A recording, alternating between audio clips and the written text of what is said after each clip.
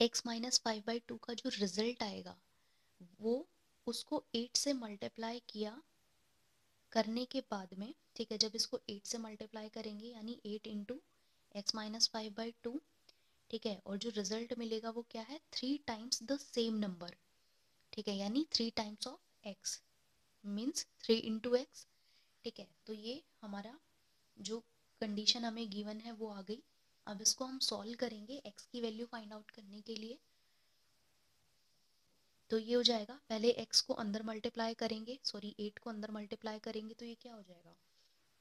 Eight into x minus का five in eight into five by two तो ये हो जाएगा फोर और ये बचा एट एक्स माइनस में ट्वेंटी ठीक है? तो ये आ गया eight x minus twenty equals to में ये हो गया थ्री एक्स ठीक है नेक्स्ट हमने सॉल्व करने के लिए क्या करना होगा? वेरिएबल टर्म को एक साइड लेके आना होगा और जो नंबर है उसको एक साइड पे ले जाएँगे। तो हम थ्री को इधर लेके थ्री एक्स को इधर लाएँगे और माइनस का जो ट्वेंटी है उसको राइट हैंड साइड पे लेके जाएँगे। तो transposing minus twenty to R H S and transposing three x to L H S आप इसको एक स्टेप में भी कर सकते हो। ठीक है, ये इधर आएगा तो हो जाएगा माइनस का थ्री एक्स और ये उधर जाएगा तो ये हो जाएगा प्लस का ट्वेंटी ठीक है, इसको आगे सॉल्व करेंगे। Eight x minus three x कितना होगा? Minus sorry five x plus का, और इधर बचा ट्वेंटी अब x की वैल्यू के लिए हमने क्या करा? इसको फाइव से डिवाइड कर दिया दोनों साइड पे। तो five x divided by five is equal to twenty divided by five यहाँ पे ये फाइव फाइव कट गया। यहाँ पे बचा x और ये हो गया फाइव फोर ज़ा ट्वेंटी होता है तो ये आ गया फोर तो जो रिक्वायर्ड नंबर है, जो हमने x सपोज़ किया था, x की वैल्यू क्या आई? फोर तो जो नंबर अमीना ने थिंक किया था, वो क्या, कितना था? फोर।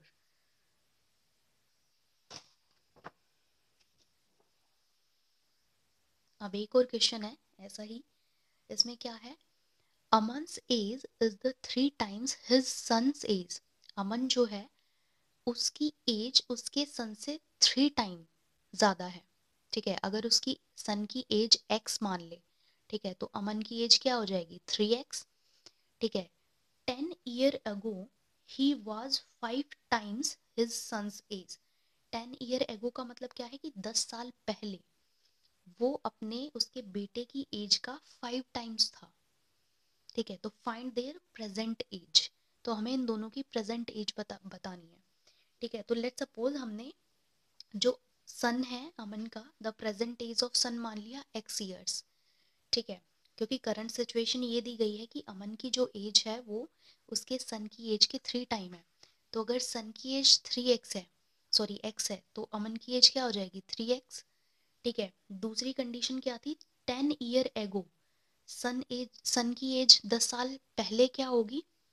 जो आज की एज है उसमें से दस साल कम कर देंगे माइनस कर देंगे तो दस साल पहले की एज आ जाएगी। और अमन की एज भी आज जो है उसमें से दस साल अगर माइनस कम कर देंगे तो उसकी दस साल पहले की एज हो जाएगी। तो ये टेन ईयर अगो इन दोनों की एज आ गई। अब अकॉर्डिंग टू कंडीशन क्या दिया गया है कि ten year ago he was five times his son's age ठीक है, वो उसके बेटे की एज का फाइव टाइम्स था। ठीक है तो सन्स की age son age ten year ago उसको फाइव से मल्टीप्लाई करेंगे इजिकल टू अमन्स एज हो जाएगी टेन ईयर एगो ठीक है तो फाइव ईयर एगो जो उसकी इस बेटे की एज थी क्या? एक्स माइनस टेन इसको फाइव से मल्टीप्लाई किया इजिकल टू हो गया थ्री एक्स माइनस टेन अब इसको हम सॉल्व करेंगे फाइव को अंदर मल्टीप्लाई करेंगे फाइव एक्स माइनस में फिफ्टी हो गया, इधर थ्री एक्स माइनस टेन है, ठीक है? थ्री एक्स को हम इधर ले जाएँगे और फिफ्टी को हम इधर लेके आएँगे, ठीक है? तो ये हो जाएगा five x minus three x और ये हो जाएगा माइनस का टेन और ये प्लस का फिफ्टी इधर आ जाएगा।